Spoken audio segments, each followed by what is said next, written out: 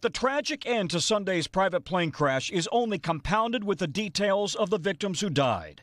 The owners of the plane, John and Barbara Rumpel of Florida, tell NBC News they had adopted 49 year old Adina Azarian when she was 40 because she reminded them of another daughter they'd lost in a scuba accident.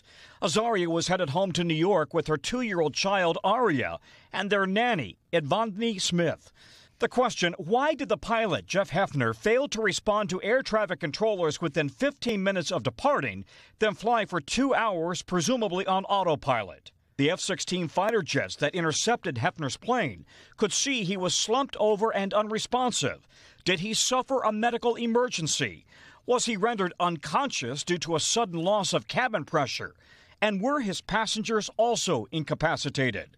No one radioed a mayday call, and the fighter pilots reported the passenger window shades were down.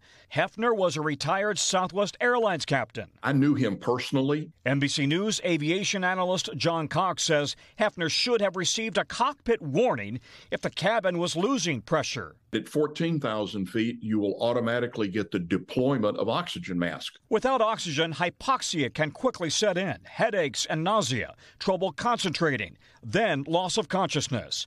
For a second day, investigators today have been inspecting and documenting the crash scene in a remote and rugged Virginia forest. The airplane, pilot qualifications, maintenance records, basically everything is on the table.